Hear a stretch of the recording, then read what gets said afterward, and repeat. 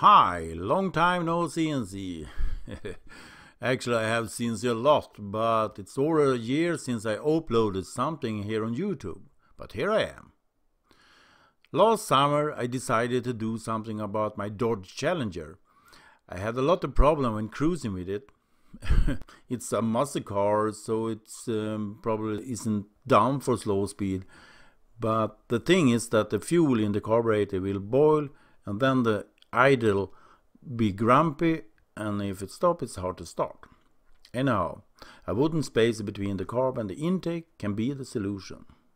Look here how I did the spacer and a little review how it went out.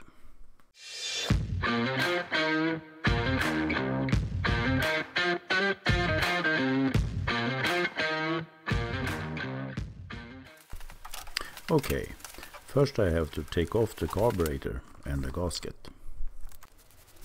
I use the old gasket to measure up everything so I can draw the spacer in my CAD-CAM software.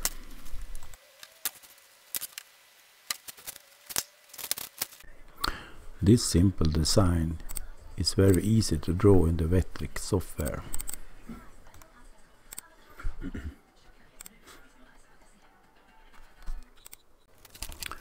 Here I use super glue and masking tape to hold the Baltic birch and to protect the spoil board I put a piece of thick paper in between.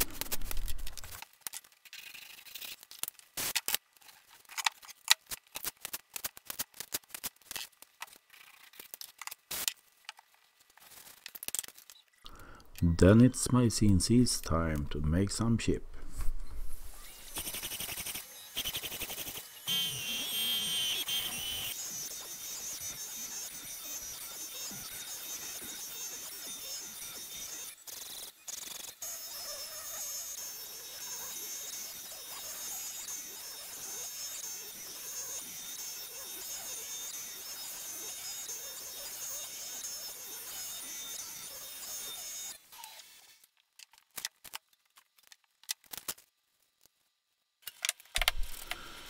And to seal the end grain from fuel fumes and dirt, I put on a layer super glue with activator.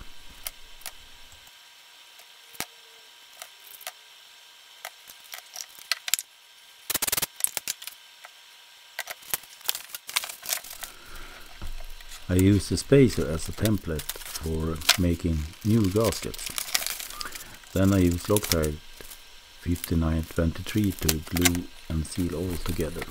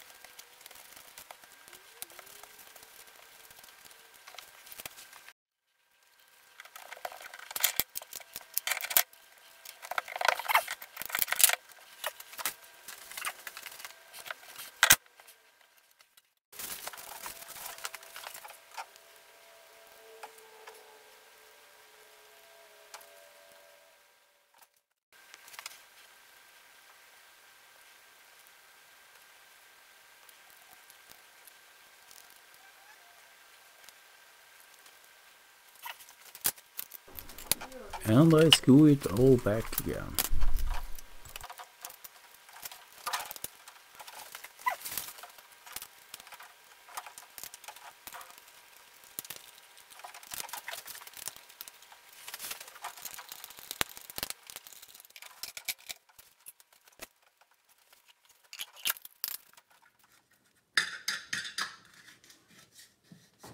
And then it's done. Now we will see if it starts.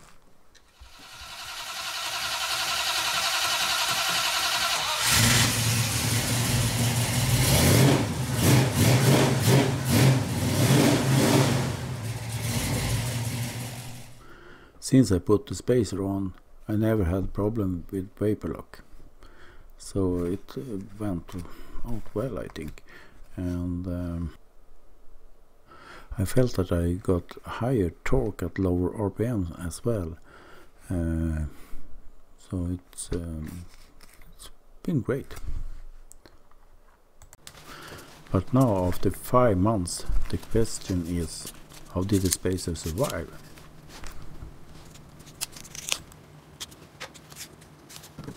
And as you can see here, the spacer has survived very well.